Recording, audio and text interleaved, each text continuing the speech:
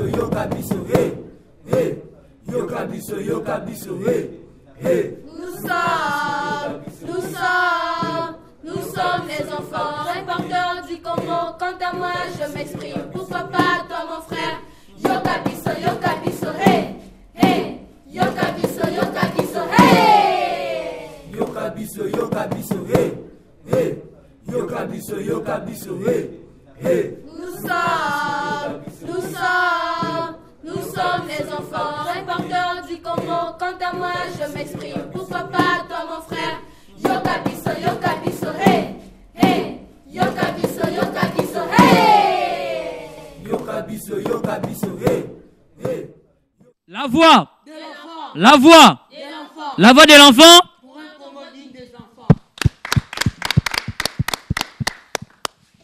Bonjour, bonjour, chers téléspectateurs. C'est avec euh, beaucoup de plaisir que nous vous savons devant votre petit écran pour suivre euh, votre émission La Voix de l'enfant. Aujourd'hui, nous sommes euh, le 19 novembre, c'est la journée mondiale de toilettes et à cette occasion, les enfants reporters sont ici sur le plateau pour parler de cette question de toilettes ici en RDC. Et pour ce faire, nous allons recevoir à votre intention, chers téléspectateurs, M. Mavar, qui est le coordonnateur national des villages euh, à Séni. Et puis nous avons M. Abeille Franck, qui est le chef de section de WASH à l'UNICEF. Et euh, notre dernier invité, c'est M. Sébastien Longueville, qui lui est directeur du consortium WASH RDC. Voilà, ce sont là nos invités pour notre émission d'aujourd'hui. Nous pensons que vous aussi, vous êtes prêts à pouvoir nous suivre avec euh, beaucoup d'attention parce qu'aujourd'hui, nous parlons d'une question qui, semble être minime, mais il y a beaucoup de choses derrière et nous vous demandons de rester avec nous pour suivre cette émission. Avant que nous ne puissions passer aux questions que les enfants ont apprêtées pour l'émission d'aujourd'hui, nous vous demandons de bien vouloir suivre le reportage qu'ils ont réalisé hier dans la commune de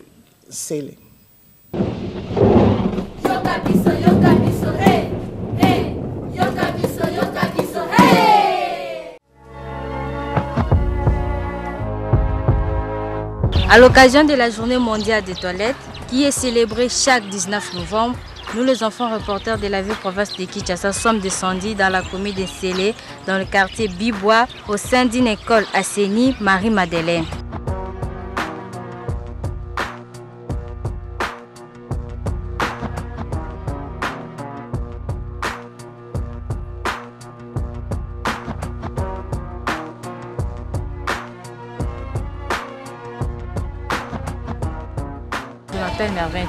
Suis enfant reporter de la ville province de. Et Je ne suis pas seule, je suis accompagnée de mes amis enfants reporters. Voici Glody et voici Stéphie. Nous sommes ici à cette occasion pour célébrer la journée mondiale des toilettes qui est célébrée chaque euh, 19 novembre. C'est quoi une, toilette hygiénique?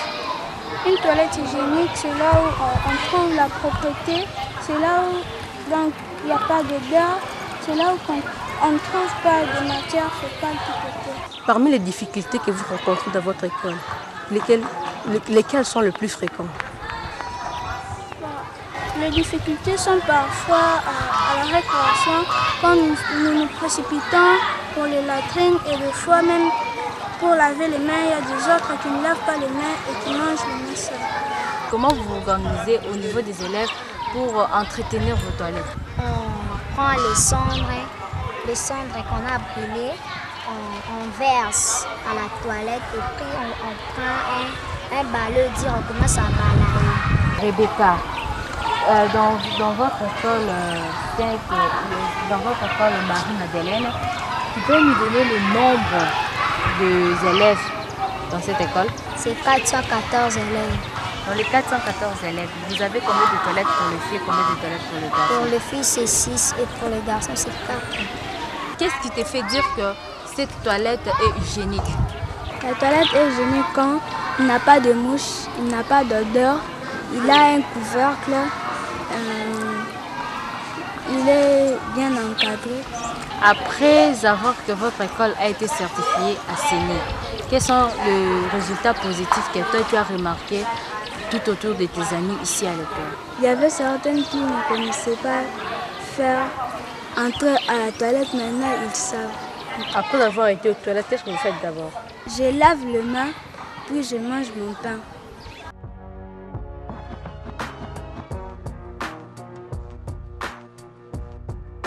Qu'est-ce que vous aimeriez qu'on ajoute ou qu'on fasse encore de vous dans votre école pour que vous puissiez vraiment être euh, à l'abri de plusieurs maladies que... Je m'appelle Kassongo Ibouankou.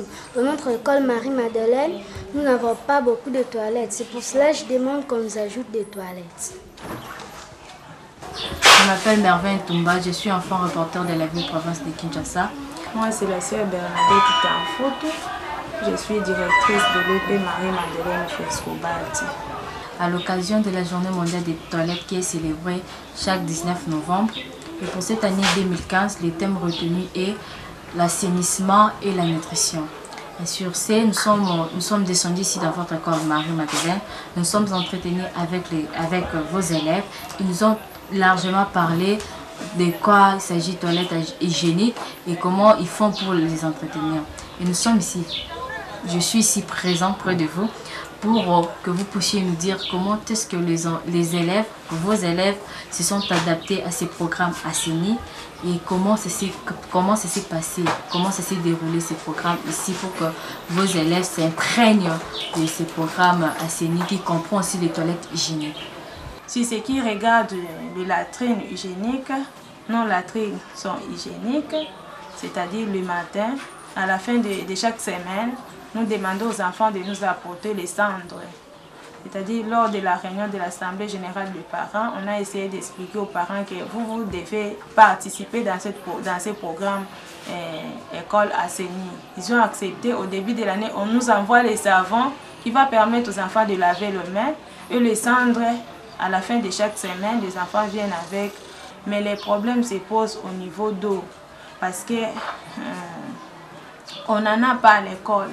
C'est-à-dire nous devons avoir sur place, parce que quand on parle d'abord de l'école assainie, on doit avoir la présence d'eau à l'école, premièrement, et puis les latrines, que ce soit hygiénique, et puis la propriété de la cour, soit des, des locaux. Mais euh, le premier point là, il n'y en a pas chez nous. Le mal vraiment, c'est là, c'est chaque fois que je pose beaucoup de questions sur ça que je ne trouve pas de réponse.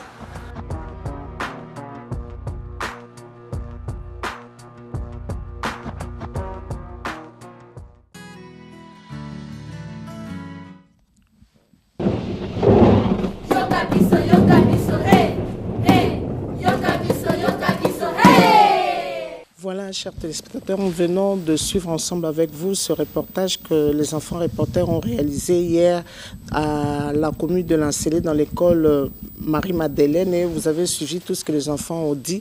Et nous revenons ici sur notre plateau pour poser la question à nos invités qui sont là de pouvoir réagir à ce qui a été dit par les enfants dans le reportage.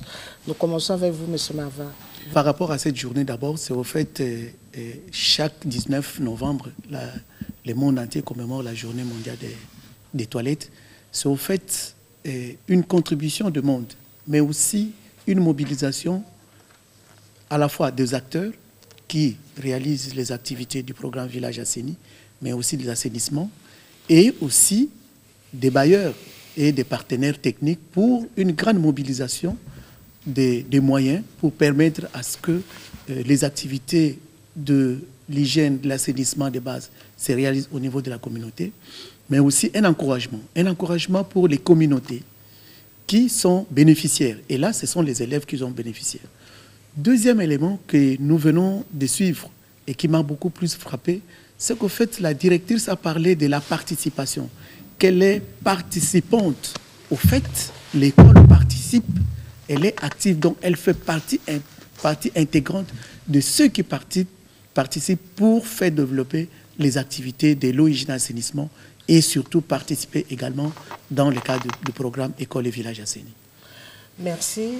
Monsieur Abbé, vous, vous êtes le chef de section WASH à l'UNICEF. Mmh.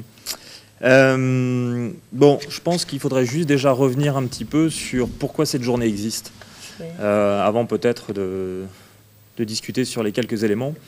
Si on a dû créer cette journée, c'est qu'a priori, justement, il n'y a pas suffisamment d'infrastructures, que les populations en général en RDC, mais dans beaucoup d'autres pays à travers le monde, euh, n'ont pas accès à des toilettes. Qu'est-ce que ça engendre de ne pas avoir accès à des toilettes?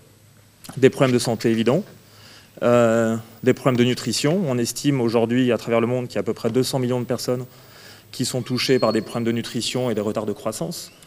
Et en agissant sur l'assainissement, on peut facilement, en tout cas, prévenir euh, la malnutrition. Donc ça, c'est la première raison. Et c'est pour ça que cette journée a été décidée, euh, afin de sensibiliser toutes les populations. Ensuite, sur le reportage, euh, je pense que ça démontre qu'il y a encore beaucoup de progrès à faire. Les initiatives sont là, la prise de conscience générale est là. Mais comme le disait tout au début du reportage, l'une des jeunes filles, voilà, tout le monde aujourd'hui, ce n'est pas un automatisme. En tout cas, utiliser les toilettes dans le cadre de l'école, c'est une chose. Euh, mais ensuite, effectivement, se laver les mains et pratiquer d'autres euh, mesures d'hygiène est tout aussi important. Et il faut qu'on réussisse à faire en sorte euh, que ça devienne des automatismes et que donc il y ait une réelle augmentation de la prise de conscience des populations de cela. Un dernier chiffre, juste à titre d'information, aujourd'hui dans le monde, on estime qu'il y a plus d'un milliard de personnes, qui soit une personne sur huit, qui utilisent pas du tout de toilettes. Oui, merci. Monsieur Franck, Monsieur Sébastien. Oui. bonjour Noëlla. Euh, bah, écoutez, oui, moi ce que je voulais dire, peut-être euh, aller plus sur la forme que sur le fond finalement, puisque mes collègues en ont déjà parlé, et un peu effectivement l'importance d'impliquer les enfants, et effectivement c'est assez euh, fantastique le reportage que vous avez fait les enfants, parce que c'est effectivement vous qui êtes en train d'apprendre, en train de grandir et de construire le Congo de demain, et qu'effectivement euh, on voit que vous touchez un peu à toutes les problématiques, que vous comprenez bien, que vous interagissez aussi avec euh, euh, vos petits camarades que vous venez de visiter. Et effectivement, ça c'est important que les enfants soient au cœur de l'apprentissage et de la durabilité finalement un peu de tout le travail qu'on est en train de mettre en place, même s'il reste beaucoup à faire. À partir du moment où les enfants sont avec nous pour, pour faire cette action, je pense qu'on pourra aller assez loin. Oui, merci. Voilà, le, vous avez réagi au reportage des enfants. Maintenant, les enfants, ils sont là tous prêts à vous poser les, de multiples questions qu'ils ont. Ils ont beaucoup de questions à vous poser. Glody? Euh, Merci pour la parole. Moi, c'est Glody, comme l'a dit Noël. J'ai deux questions. La première, d'abord, s'adresse au docteur Mavar et la seconde s'adresse à l'UNICEF. À la mission précédente sur la journée mondiale de toilettes, il nous a été dit qu'on mettra en place un programme de contrôle et d'assainissement qui jadis faisait ce travail-là. Et pouvez-vous nous, nous dire pourquoi jusqu'à présent ce programme n'est pas mis en place et quel lien faites-vous entre l'assainissement et la nutrition? Oui. merci, merci beaucoup, Glody, pour euh, la question. Et pourquoi le programme n'est pas mis en place? Le programme est mis en place, mais évidemment, c'est un processus. C'est un processus parce qu'au fait, au niveau du ministère de la Santé également, c'est comme euh, tous les autres ministères, on est dans les réformes. Et la réforme veut qu'il faut mettre en place des organisations et des structures qui vont prendre en compte tout ce que vous êtes en train de dire. Et là, il y a la réforme. Dans la réforme, il y a tout ce qui est euh, organisation que nous sommes en train de faire. Il y a également, euh, il faut se dire qu'au fait, aujourd'hui, nous avons commencé avec la politique nationale de l'hygiène, nous l'avons dit ça la fois passée. Nous sommes maintenant avec le code de l'hygiène, avec l'appui des partenaires, et nous sommes en train de maintenant de mettre en place les brigades d'hygiène. Je pense que d'ici la fin de l'année, en 2016, les brigades d'hygiène seront déjà opérationnelles. On ne dit pas qu'ils ne sont pas là, ils sont là, mais en fait, ils sont en train d'être on est en train de renforcer leurs capacités. Ils pourront être au maximum déjà en 2016 pour permettre de réaliser les contrôles au niveau des communautés, au niveau des ménages, mais au niveau également scolaire. Vous avez parlé des liens entre l'assainissement et la, nutrition. Évidemment, c'est comme disait tout à l'heure euh, M. Franck, que c'est vrai qu'il y a un lien qui existe entre l'assainissement et la... C'est d'ailleurs le thème de... C'est d'ailleurs le thème de, cette, année, qu'il faudrait apporter beaucoup plus d'assainissement dans nos milieux de vie pour permettre à l'enfant de croître et la croissance parle de la nutrition. Donc, au fait, pour qu'il y ait euh, un assainissement adéquat, il faudrait que chaque enfant, que chaque ménage puisse améliorer les conditions de vie dans le ménage et que l'assainissement puisse passer. Non seulement l'assainissement de façon générale, mais surtout l'assainissement de base. Qu'il y ait beaucoup plus d'assainissement que ça soit amélioré au niveau des sanitaires, mais également au niveau des autres pratiques d'assainissement pour permettre à ce que l'enfant vit bien dans son milieu et dans son environnement. De telle façon que lorsqu'il y a amélioration des conditions d'environnement, évidemment, ça va de soi. Lorsqu'on vit dans un environnement sain, évidemment, on fait accroître sa santé et c'est même qu'on peut se dire que lorsqu'on se retrouve avec des conditions appropriées, la nutrition va permettre à l'enfant de mieux croître. Mais évidemment, si on se retrouve dans des conditions où l'assainissement fait défaut, évidemment, où le milieu n'est pas hygiénique, où il y a des mouches et des vecteurs de maladies, à ce moment-là, même si vous apportez un aliment, même s'il y a une bonne nutrition, évidemment, ça va poser des problèmes parce qu'il y aura un déséquilibre et euh, la croissance de l'enfant ne pourra se faire correctement. Oui, la deuxième question, Claudie. Euh, d'abord, je vais intervenir sur la réponse du docteur Mavar. Vous nous avez dit que mettre en contrôle le service, c'est tout un processus, oui. Et qu'est-ce qui a fait que ce processus puisse prendre beaucoup de temps Et pourquoi euh, ce processus puisse prendre beaucoup de temps? Et vous nous avez aussi dit que ce processus est présent. Mais pourquoi nous ne le voyons pas dans nos milieux? Vous avez raison. Peut-être que lorsque euh, nous étions beaucoup plus jeunes et que les parents étaient là, on vivait évidemment la brigade d'hygiène. Aujourd'hui, dans la stratégie du ministère de la Santé, l'hygiène, au fait, qui était autrefois, qui s'occupait également de l'assainissement, aujourd'hui, nous le partageons avec les autres ministères de l'Environnement. Peut-être que vous ne voyez pas les collègues de l'hygiène passer de maison à maison aujourd'hui, mais ils passent à travers les activités de santé, vous les voyez. Mais aussi, les autres activités, notamment la gestion des déchets, la gestion des, des déchets au niveau des communautés, se réalise avec les collègues de l'environnement. Donc évidemment, c'est pour dire qu'au fait, il y a une connexion qui se fait entre la santé et l'environnement. Donc c'est vrai que euh, d'ici là, nous allons accroître l'intervention des brigades d'hygiène dans les différentes dans les différentes communautés pour vous permettre de mieux vivre et ça va améliorer certainement votre environnement. Et vous avez raison. Oui. Que la deuxième s'adresse à l'UNICEF.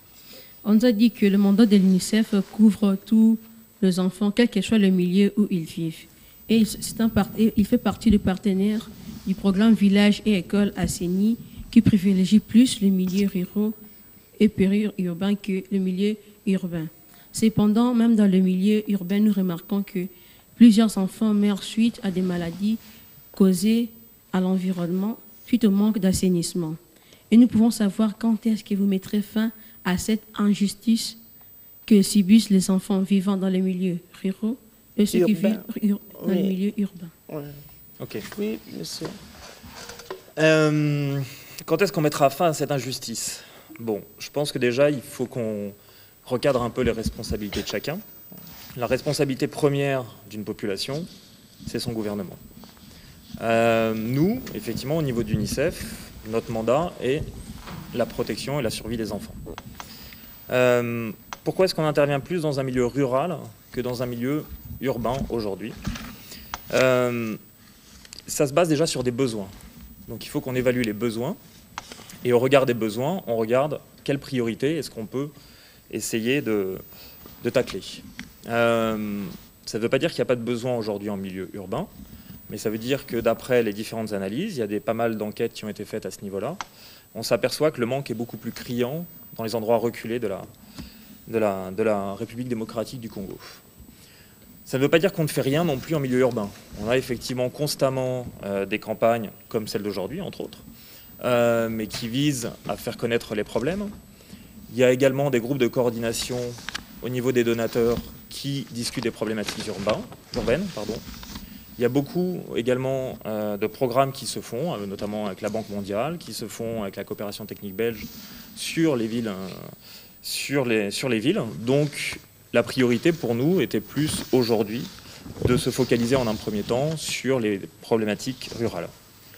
Il faut juste aussi savoir euh, qu'en 2030, euh, la population urbaine de la RDC sera égale à la population rurale. Aujourd'hui, on est sur un, un différentiel de chiffres. 70% de la population vit dans les campagnes, 30% vit dans les villes. Et en 2050, ce sera l'inverse, c'est-à-dire qu'on aura beaucoup plus de personnes dans les villes que dans les campagnes.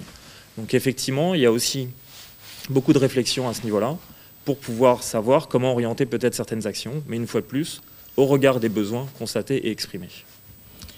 Merci. Oui, Garnala euh, Moi, c'est Garna. Je pose ma question au consortium WASH. Euh, nous avons été informés que vous travaillez dans cinq provinces de la RDC et que vous comptez atteindre 461 villages. Comment avez-vous fait pour choisir ces villages? Est-ce les enfants qui vivent dans les milieux difficiles euh, vont pouvoir vont avoir accès? Oui.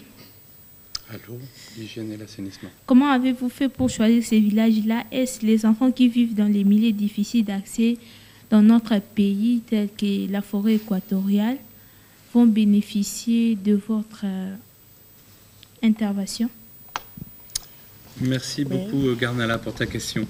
Euh, le choix des villages est extrêmement important pour un programme euh, d'eau, d'hygiène et d'assainissement. Pour les raisons que tu donnes, c'est-à-dire effectivement le niveau de vulnérabilité et ce qu'on va pouvoir euh, soulager, apporter comme euh, réconfort à des personnes qui sont dans la difficulté. Mais également, c'est important de comprendre que les programmes qu'on fait sont des investissements importants et qu'il faut que ça puisse durer. Si on a une action qui se fait et que le temps de l'intervention, tout s'améliore, mais qu'un an après, le point d'eau n'est plus là, les toilettes ne fonctionnent plus, les habitudes, les bonnes habitudes sont reparties, alors le travail aura servi à rien. Donc en fait, avant de commencer à sélectionner les villages, il y a pas mal d'études qui sont faites. Il y a notamment, euh, si on veut euh, mettre un point d'eau, il va falloir qu'on fasse une étude hydrogéologique pour voir euh, s'il y a de l'eau, on peut aller creuser, chercher sous la terre et à quelle profondeur se trouve l'eau. il y a également l'importance de vérifier si on, installe une pompe à main, est-ce qu'il va y avoir des revendeurs de pièces détachées? Si le jour où la pompe à main se casse, comment on fait pour réparer? Et s'il n'y a pas de pièces détachées, on va retomber dans le niveau de pauvreté qu'on était avant. voilà, donc tout ça, en fait, est, relativement important. On a parlé d'un grand pays. Le, Congo est un, énorme pays sur lequel les infrastructures routières, par exemple, ne sont pas très bonnes. Évidemment, euh, c'est dommage parce que ceux qui sont les plus éloignés sont peut-être parmi les plus vulnérables, mais c'est aussi euh, la limite de, la faisabilité de notre travail. Si on est trop loin, qu'il n'y a pas de route, le bureau de la chef de zone ne sera plus capable de venir euh, encourager ou recadrer le problème d'hygiène. Donc effectivement, oui, on a, on a toutes ces questions-là un peu qui orientent le, la sélection du choix des villages. Merci. La deuxième question, Carla. Ma deuxième question est posée au docteur Mavar. Le gouvernement ne donne que 0,5% de son budget pour l'hygiène et l'assainissement. Avec ça, pensez-vous vraiment que les enfants vont pouvoir être protégés suffisamment contre les maladies hydriques et causées par l'absence de l'assainissement? Merci beaucoup, euh, euh, Garnala. Euh, je pense que le gouvernement fait beaucoup plus que ça. Ce n'est pas 0,5%. Mais qu'à cela ne tienne, n'oublions pas également qu'en dehors de l'appui du gouvernement qui a réalisé, qui est en train de réaliser la construction des écoles, des centres de santé, équipés et dotés en matériel d'assainissement et d'approvisionnement en eau, parce qu'au fait, on va avec le projet PES du gouvernement et les projets de construction des écoles, mais il y a aussi les partenaires du gouvernement qui participent également dans cet effort d'amélioration des conditions de vie en milieu scolaire des enfants. Donc, au fait, eh, je pense qu'il faut prendre tous ces éléments intégrés et voir un peu quel est le budget. Mais je peux vous rassurer que le gouvernement fait plus. Évidemment, c'est un plaidoyer qu'il faudrait que le gouvernement fasse encore plus d'avantages parce qu'il y a beaucoup d'écoles, on le sait, mais euh, déjà ce que le gouvernement fait, c'est déjà une contribution non, non, non, non moins importante. Et je pense que le gouvernement promet toujours de réaliser et de continuer à réaliser. Oui, merci. Euh, Meradi Merci pour la parole. Mon nom c'est Miradi Zungu. J'ai deux questions à poser. La première est posée au docteur Mavar. Euh, ma question est celle-ci. Euh, selon euh, les objectifs du millénaire, il y a parmi les objectifs du millénaire un seul objectif qui est en rapport avec l'hygiène et l'assainissement. Et selon les programmes des villages enseignés, nous avons entendu que vous vous êtes fixé l'objectif d'atteindre 6 millions de personnes et de réduire le taux de mortalité infantile. Et je veux, nous voulons, nous tous, juste savoir, est-ce que vous allez atteindre réellement ces objectifs et en quelle année? Là, c'est ma première question d'abord. Oui. Merci beaucoup, Miradi. C'est une très bonne question. Et nous pouvons vous rassurer qu'au fait, les objectifs que nous nous sommes fixés au niveau du programme Village Asseni, nous allons l'atteindre parce qu'au fait, je pense que nous avons l'accompagnement de nos partenaires qui ont euh, mis les moyens à notre disposition. Et nous avons calculé par rapport aux moyens dont nous, nous détenons au niveau du programme Village Asseni avec l'appui des partenaires et également des ressources dont dispose le programme, en, en, l'occurrence les ressources humaines et les autres ressources, on s'est dit les objectifs que nous nous sommes fixés d'atteindre plus de 6 000 villages et au-delà même des 6 millions de personnes, nous allons l'atteindre. Et je peux même vous garantir que nous risquons même de le dépasser au terme de 2017. Donc, en fait, ce n'est pas trop ambitieux, mais je pense qu'avec l'évolution, nous sommes euh, capables de l'atteindre et ça permettra à ce que nous puissions, en fait, améliorer les conditions de vie de nos, de nos enfants, de nos frères qui sont en milieu rural et de nos sœurs également. Merci. J'ai encore une seconde question. Cette fois, je lui pose à l'UNICEF. Ma question est celle-ci. Les enfants sont des acteurs très importants pour la sensibilisation dans la famille et dans toute la communauté en rapport avec l'assainissement du milieu de vie. Et ma question est celle-ci. Comment est-ce que l'UNICEF associe les enfants dans, la, sensibilisation pour l'assainissement de leur milieu de vie et pour la bonne pratique des lavages de mains Bon, il y a il y a plusieurs choses à prendre en considération. Euh, d'une part, il y a le programme Village Assaini. D'un autre côté, programme École Assaini. Effectivement, on essaie de faire en sorte que ces deux programmes marchent ensemble afin d'avoir une approche globale. Au niveau Village Assaini, on a une approche communautaire des choses. C'est-à-dire qu'on va sensibiliser toute une communauté, grands-parents, parents, enfants. D'accord? Et ça, ça se fait au travers des comités qui sont mis en place. Donc ça, c'est la première partie. Euh, donc là, on implique, les enfants sont impliqués dans les séances de mobilisation, les enfants sont présents et les enfants assistent. Cependant, là où je pense qu'on met un, focus assez fort sur la sensibilisation des enfants, c'est au niveau du programme, École Assainie. Le programme, sur la tranche 2013-2017, reprend à peu près, euh, va concerner à peu près 500 000 élèves et environ 1200, entre 1200 et 1300 écoles. Euh, dans ce programme, on a effectivement toute une partie qui est liée à la sensibilisation. Il faut savoir, ben, de toute façon, vous êtes, vous êtes élève, il y a les cours de PES qui ont, lieu qui ont eu lieu quand vous étiez au primaire deux, heures par semaine. Euh, il y a également ensuite toutes les infrastructures qui sont mises autour, donc les latrines qui sont développées, effectivement ensuite tout ce qui est point d'eau, tout ce qui est point de lavage de main. Et c'est avec ces actions que les enfants sont vraiment au cœur de la cible, puisque je vais reprendre un peu ce que disait Sébastien. Si on arrive à avoir un, système éducatif fonctionnel, je pense que demain, vous répéterez les mêmes actions avec vos propres enfants. Donc voilà aujourd'hui comment est-ce qu'on considère que les enfants sont au cœur de notre cible euh, sur, sur la partie assainissement. Oui, nous revenons sur toi, Glody. Euh, j'ai encore deux autres questions. La première s'adresse au consortium WOSH et la seconde au docteur Mavar. Euh, la, première question est celle-ci. Dans notre pays, en milieu rural, la défécation à l'air libre est une règle générale. Et en milieu urbain, les, gens attendent la pluie pour vider leurs faux sceptiques. Cependant, il nous a été dit que le consortium WASH est là pour compléter le programme Village et École assaini, quelque chose dans les mêmes dans le milieu où il n'est pas présent. Et que pensez-vous faire pour changer cette mauvaise mentalité des gens? Merci beaucoup pour ta question, euh, Glody. Euh, alors tout d'abord, oui, le consortium WASH travaille main dans la main avec euh, le programme national.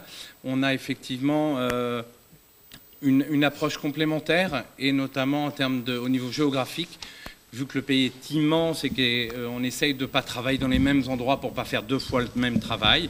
Donc effectivement, il y a cette séparation un peu, mais en même temps la complémentarité, la discussion.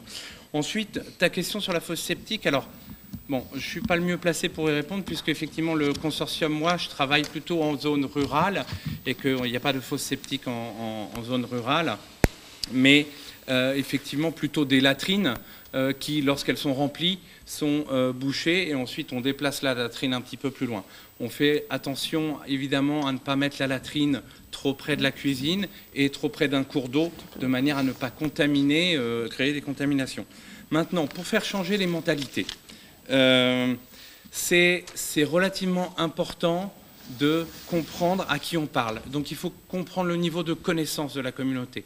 Donc on discute avec eux, on identifie ceux qui ont des bonnes connaissances et qui sont un peu, euh, qui ont un certain leadership sur les autres. Et puis effectivement, une fois qu'on a un peu compris euh, les, problèmes essentiels, on va utiliser trois types de méthodes, un peu pour déclencher l'envie de changer une habitude. la première, c'est peut-être un argument économique. Hein. on va dire, ben voilà, il y en a qui seront un peu plus sensibles, on va leur dire, quand ton enfant est malade, eh ben, tu vas être obligé de l'emmener à, l'hôpital ou au centre de santé, tu ne vas pas pouvoir travailler la journée, et puis en plus, il va falloir payer la consultation, et puis il va falloir en plus payer les médicaments. Alors ceux qui sont un peu sensibles à l'aspect économique vont dire, ah oui, tu as raison, je ferais mieux de payer l'eau ou de faire attention un petit peu à ma latrine, et comme ça, je n'aurais pas à payer ça. Et puis, il y a, l'argument de la santé, où, globalement, euh, ben, on va leur dire, écoutez, voilà, quand vous avez une, maladie, ça vient d'où? Ça vient comment? Et on explique un petit peu le schéma des transmissions de maladies avec la mouche qui vient se poser sur les, excréments et qui vient à nouveau se poser sur la nourriture ou sur le, problème de lavage des mains. Hein. on ne se lave pas les mains et puis on mange directement ou on prépare. Voilà, donc on explique un peu tout ça. Il y a ceux qui sont sensibles à leur santé, ils ont envie d'être en bonne santé, ils vont faire attention. Et puis, il y a également sur l'émotionnel qu'on peut jouer. Hein, on peut, alors il y a le fameux chemin du dégoût qui est souvent assez connu où on va repérer euh, la défécation à l'air libre. On, prend un petit bout du caca, on le met dans une bouteille d'eau, on mélange et on demande aux gens s'ils veulent boire l'eau. Évidemment, ils vont tous dire non. Hein. et après, on leur explique, ben, en fait, ton caca avec la rivière, ça fait la même chose. Ton caca avec le point d'eau, c'est exactement la même chose. Ça va contaminer. Donc tu vois, faites attention. On peut également utiliser quelque chose de plus positif avec la fierté d'avoir une belle toilette, une belle latrine. Si on a un visiteur, on veut avoir euh, l'honneur de pouvoir lui présenter des toilettes propres et hygiéniques. Voilà. Donc on essaye d'utiliser un peu toutes ces différentes manières pour changer les habitudes. Ensuite, il faut travailler avec les relais communautaires et sur le long terme pour rappeler un peu euh, euh, ces messages, pour les redonner, les rediffuser et les re-rediffuser et ça, c'est très important. C'est pour ça qu'il faut trouver, par exemple, des enfants comme vous à l'école qui vont avoir compris le message et qui le répéteront à leurs petits camarades, mais aussi à leurs parents et dans leur communauté, ou euh, éventuellement donc travailler avec le relais communautaire qui travaille un peu avec le, bureau de la zone de santé, le ministère de la Santé, pour rappeler les messages de santé publique. Voilà. En fait, il avait une préoccupation par rapport aux faux sceptiques. Et vraiment, évidemment, c'est vraiment interdit c'est vraiment interdit. Et les communautés qui nous suivent, que ce soit en milieu urbain ou en milieu semi-urbain, c'est interdit. Et je pense que si une personne branche ses faux sceptiques dans le cours d'eau, évidemment, euh, que ce soit la police, la brigade d'hygiène ou tous les acteurs, les inspecteurs qui passent, évidemment, ils seront obligés de l'arrêter et il va payer des amendes.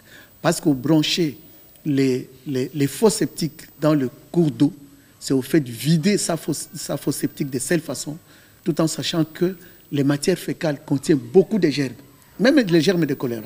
On a, on a essayé de lutter contre les, choléra dans la ville de Kinshasa en nettoyant pratiquement les cours d'eau, en les vidant pratiquement de, de, tout ce qui fait traîner comme, comme matière fécale, et on est arrivé à bout. Donc celui qui jette, évidemment, c'est au fait, c'est condamnable. Et quand vous Mais voyez... il faudrait aussi dire aux téléspectateurs quand euh, quand ils font ça, qu'est-ce qu'ils qu qui risquent? Quelles, sont ces maladies? Peut-être quand vous allez citer telle, telle autre maladie, ils seront... Il, est ça, bien sûr. Parce qu'en fait, quand ils font ça, évidemment, ils font exposer les populations aux maladies telles que le choléra. Parce qu'en fait, ça se trouve, si ça se trouve dans les germes, donc au fait, il fait l'expansion du choléra. Ils font l'expansion de toutes les maladies diarrhéiques qui se transmettent par les selles. Et là, c'est vraiment, et quand vous voyez ces maladies, c'est pratiquement plus de maladies dont euh, la communauté souffre. Évidemment, là, c'est prohibé, mais ce que nous leur demandons, d'avoir les faux sceptiques. Il y a des camions vidangeurs, ils peuvent utiliser ces camions pour venir. Aujourd'hui, il y a des possibilités de traiter des faux septiques avec des produits biochimiques aujourd'hui qui digèrent pratiquement ces faux septiques et les matières peuvent être récupérées et utilisées dans les champs ou bien dans les jardins potagers. Mais il est vraiment interdit. Et si on le constate ou on l'appréhende, évidemment, ils vont subir la sanction de la loi. Là, c'est peut-être dans le cours d'eau, mais est-ce que vous pouvez nous dire aussi ceux-là qui, euh, quand il pleut, ils ouvrent carrément leur... euh, Madame, c'est la même chose. Quand vous ouvrez, au fait, vous laissez répandre au fait les contenus de votre faux septique. C'est aussi condamnable, qu'on peut le dire. Et c'est vraiment, ce n'est pas hygiénique. Il ne faudrait vraiment pas le faire. Et nous demandons à toute la communauté, les voisins également, parce qu'au fait, quand vous ouvrez, vous exposez également les voisins qui est à côté. Donc, au fait, tous ces germes-là vont se répandre sur les sols et les lendemains, les enfants peuvent, peuvent passer là-bas au sol en train de jouer au football, alors que ce sol est contaminé par les matières fécales de votre faux septique. À ce moment-là, il faut vraiment les condamner, si possible, peut-être eh, contacter les autorités eh, communales pour prendre des mesures appropriées. Merci, Priscilla. Moi, c'est Stéphie. Oui. Euh, ma première question est de celle à l'UNICEF. Euh, il, y a quelques, il y a quelques semaines, les Nations Unies ont voté l'objectif de développement durable qui vont remplacer l'objectif millénaire pour le développement. Est-ce qu'on peut espérer que l'UNICEF va travailler avec son partenaire, le gouvernement congolais, pour obtenir que chaque enfant ait assez de toilettes hygiéniques d'ici l'an 2030 Si c'est oui, quelle va être votre stratégie pour y arriver? Euh, pareil, juste revenir un tout petit peu en arrière sur ce que sont que les Nations Unies. Les Nations Unies, ce sont les États, dont fait partie la RDC. Euh, conclusion, ce sont ces États qui décident effectivement d'objectifs et qui décident de politiques à mettre en place. Donc, par rapport euh, aujourd'hui, ce qu'on appelle les ODD, qui remplacent les objectifs du millénaire, euh, il y a effectivement des ajouts, beaucoup, puisqu'on passe maintenant sur 13 objectifs importants. Comment ça se passe? Concrètement en termes de cibles Aujourd'hui, les cibles, c'est le gouvernement congolais qui va les décider. Nous, on va donner, au travers de l'UNICEF, au travers d'autres programmes des Nations Unies, on va donner des directions, on va donner des stratégies, et ensuite, le gouvernement lui-même va décider, ben voilà, il faudrait que telle partie de la population réussisse, dans le cas présent, à avoir accès aux toilettes. Euh, Aujourd'hui, ça fait partie intégrante de ce qu'on appelle l'objectif numéro 6, qui est vraiment une section à part. Euh, les stratégies sont en train de se définir en termes de cibles. Et nous, notre rôle ensuite, ça va être de travailler à appuyer le gouvernement sur ses propres stratégies et pour rejoindre ses propres objectifs. Euh, Ma deuxième question, c'est concession au WASH. Pouvons-nous savoir ce que vous faites lorsque une situation d'urgence se présente au milieu rural ou urbain? Par exemple, les épidémies de choléra, euh, qui est une maladie hydrique. Merci Coliana pour ta question. Écoute, effectivement, euh, donc il y a cinq ONG dans le consortium ACF, ACTED, CRS, Concern Worldwide et Solidarité Internationale. La dernière que je viens de te citer fait partie des experts, des ONG expertes dans la problématique du choléra. Ils ont d'ailleurs travaillé avec le docteur Mavar et la direction de l'hygiène sur un plan national euh, de lutte contre le choléra, hein, qui a été euh, élaboré pour le Congo.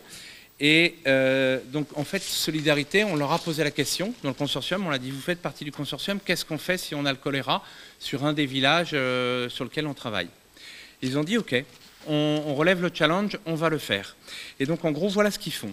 Ils vont euh, identifier les endroits à risque, les zones à risque, et ils vont d'abord essayer de comprendre quel est le niveau de formation et de compréhension des autorités. Donc, le, les, les collègues du docteur Mavar au niveau de la zone de santé, le médecin chef de zone, le superviseur au assainissement, la- l'animateur communautaire.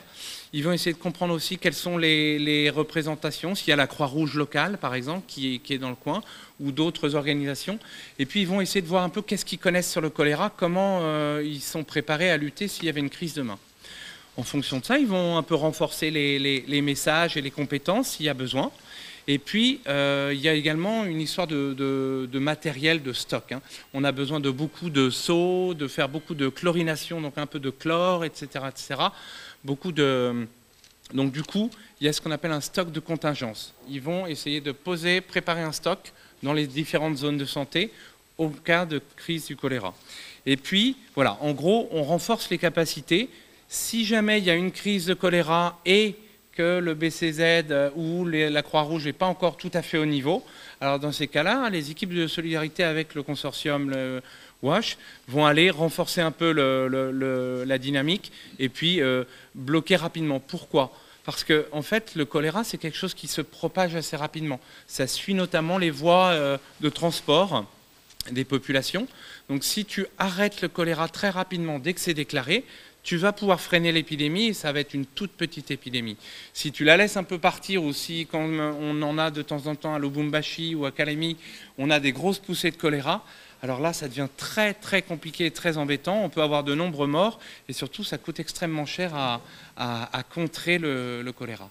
Voilà. Oui, est-ce qu'on peut savoir euh, dans quelle province où vous êtes le plus euh, implanté, le, consortium Alors, le consortium, où vous opérez Le consortium, moi, je fais tout à fait. On est sur cinq provinces.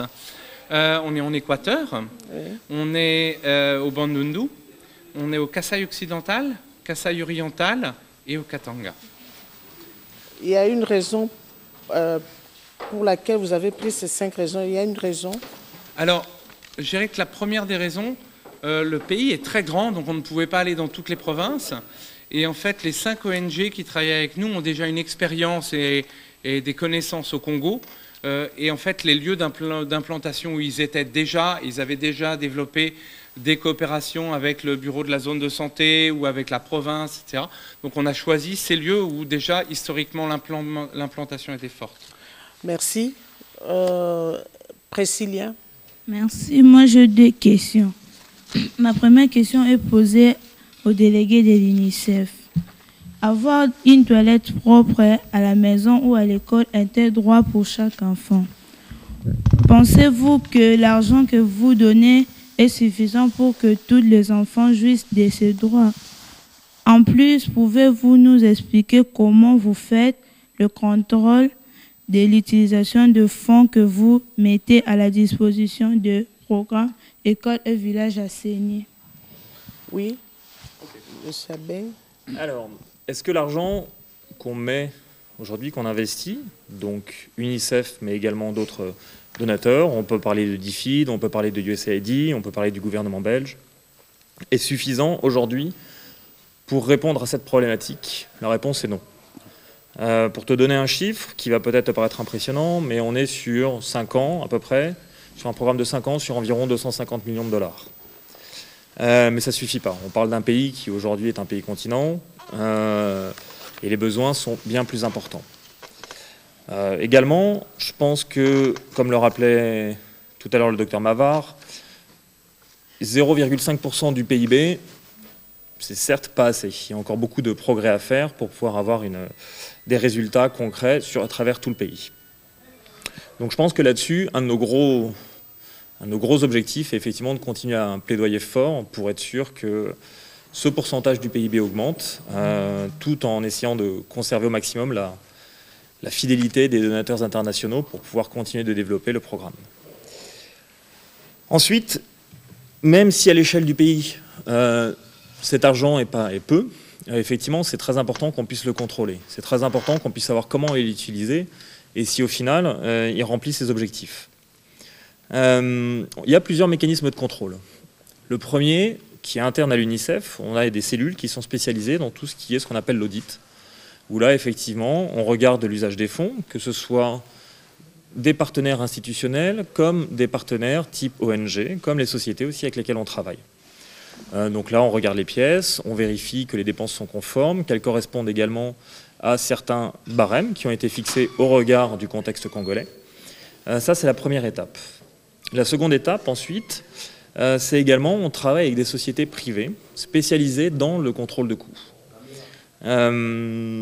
Voilà, donc ça, ce sont à peu près les différents mécanismes qu'on a en place. Il arrive que parfois, effectivement, les fonds soient mal utilisés, que les fonds n'arrivent pas à destination, que, euh, que ce qui était attendu sur le terrain ne se fasse pas.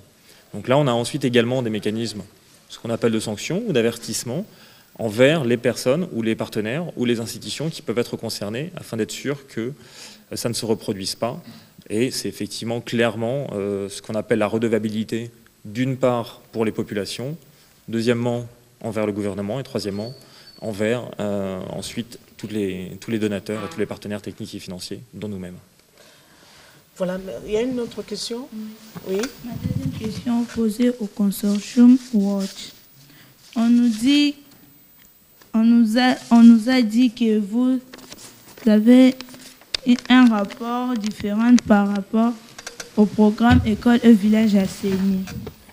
La différence vient de quoi? Est-ce que l'idée de créer des activités génératrices de revenus dans le village assaini ne va pas créer des conflits entre les habitants pour le partage des gains Alors, effectivement, euh, on a ce qu'on appelle une approche différente. Je rappellerai donc effectivement, on a les objectifs communs avec Village Assaini qui sont d'atteindre la certification pour que les villages soient assainis.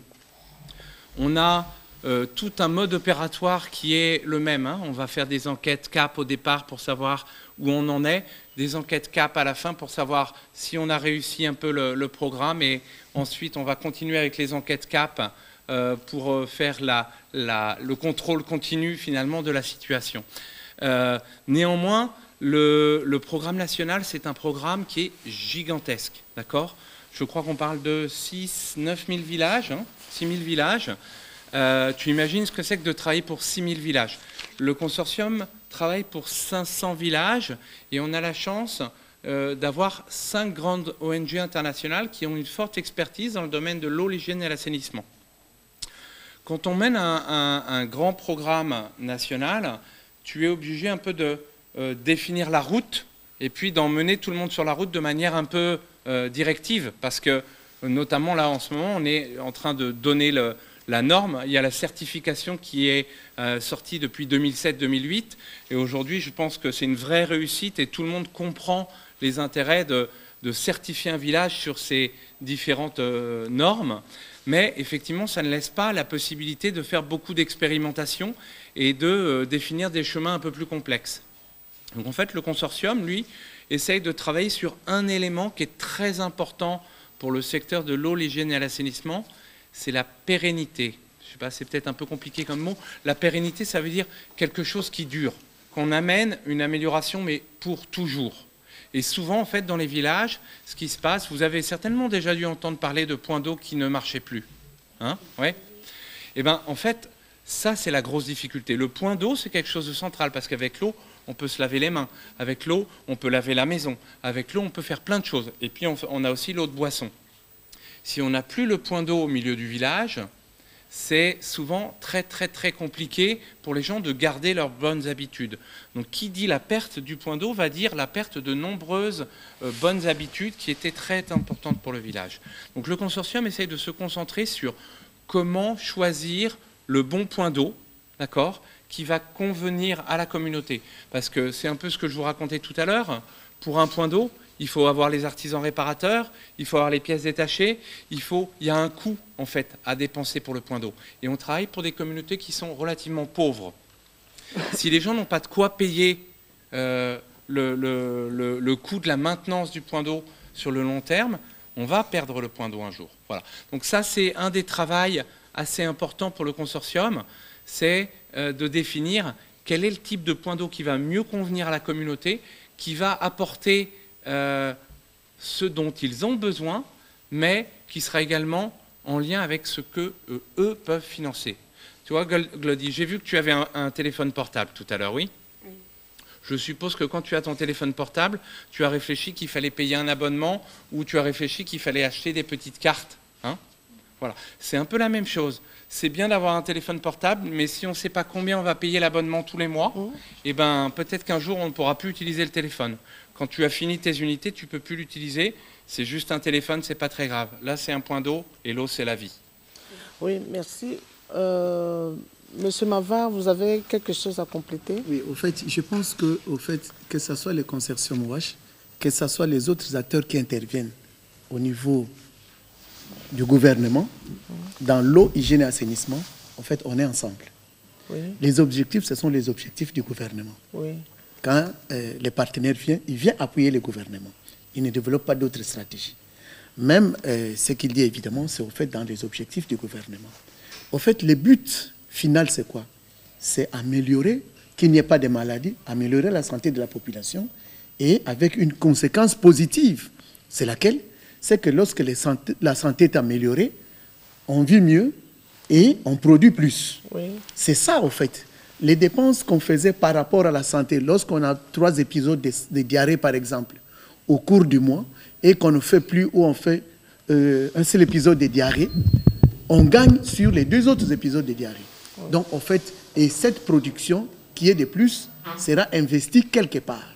C'est pour cela que la famille peut dire, sur les six épisodes, j'en fais que deux. Maintenant, en fait, c'est que nous avons produit beaucoup plus, c'est moi ici, c'est parce qu'ils ont lutté contre les maladies et on a amélioré les conditions, Les de, vie. conditions de vie. Donc, en fait, on est ensemble dans euh, toutes ces interventions. Ce sont les stratégies et les conséquences, évidemment, qui vont à chaque partenaire qui dit qu'il veut tirer quand même un peu de conséquences sur la leçon.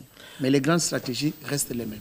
Oui, merci Monsieur Mavard. Nous sommes euh, presque à la fin de notre émission. Nous sommes d'ailleurs déjà à la fin de l'émission, mais nous n'allons pas terminer cette émission sans donner l'occasion aux enfants reporters de lire leur message. Ils ont préparé un message à l'occasion de cette journée mondiale des toilettes. Oui, Blody? Euh, nous, enfants reporters de la ville de Kinshasa, au nom de tous les enfants de la RDC, saisissons cette occasion de la journée mondiale des toilettes de, tri- de tripler les efforts pour donner et garantir l'avenir de la jeunesse congolaise, victime de maladies à caractère hydrique et diarrhéique, pour ne citer que cela. Avec et faciliter à ce dernier euh, l'usage des toilettes hy- hygiéniques. S'investir dans la lutte que le gouvernement, avec ses partenaires, se focalise sur ces. Augmenter les efforts pour lutter contre ces maladies qui détruisent l'avenir de l'enfant congolais et or celui que représente le lendemain de la RDC, qu'à l'horizon 2030, il soit réellement un pays émergent dans ce domaine, qu'on construise, construise les villages assainis partout en RDC, car les moyens sont pour le faire. Je dis je vous remercie. Voilà, on demande, on vous demande que vous soyez partout en RDC, qu'ensemble on qu'on fournisse des efforts. Un dernier mot. Un dernier mot Je par rapport à Juste euh, 30 secondes pour chacun par rapport à, à cette journée du 30 juin. Qu'est-ce que vous dites aux populations, aux communautés? Je demande aux populations d'utiliser la latrine hygiénique. Chacun doit se construire une latrine hygiénique chez soi et ne jamais faire la défécation à l'air libre ni déverser les contenus de faux septiques dans les cours d'eau ou bien sur la rue. Merci, Monsieur Vava. Monsieur Abeille, qu'est-ce que vous dites à la communauté par rapport à cette journée? Ça va être assez simple, aller aux toilettes. Oui.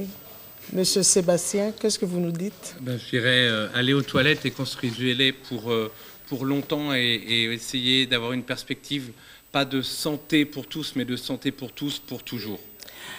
Merci. Ce sont là les derniers mots pour notre émission d'aujourd'hui. Nous vous remercions euh, d'avoir répondu à notre rendez-vous. Nous remercions aussi les enfants reporters qui avaient plein de questions et je crois que tout le monde a bien suivi avec intérêt cette émission et à vous tous, nous vous souhaitons une bonne journée, une bonne fête de toilette comme ça s'est fait partout à travers le monde. Merci et à la prochaine. La voix de l'enfant. La voix de l'enfant. La voix de l'enfant. Pour un Congo digne des enfants.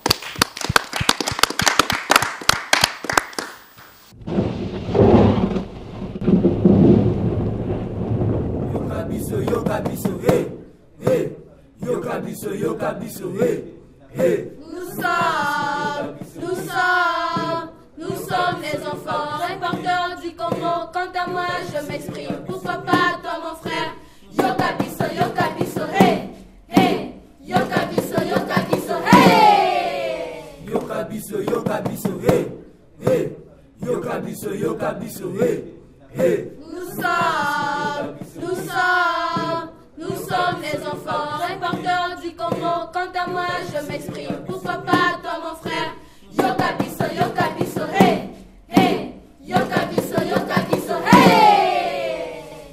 biso yoka biso e hey, hey.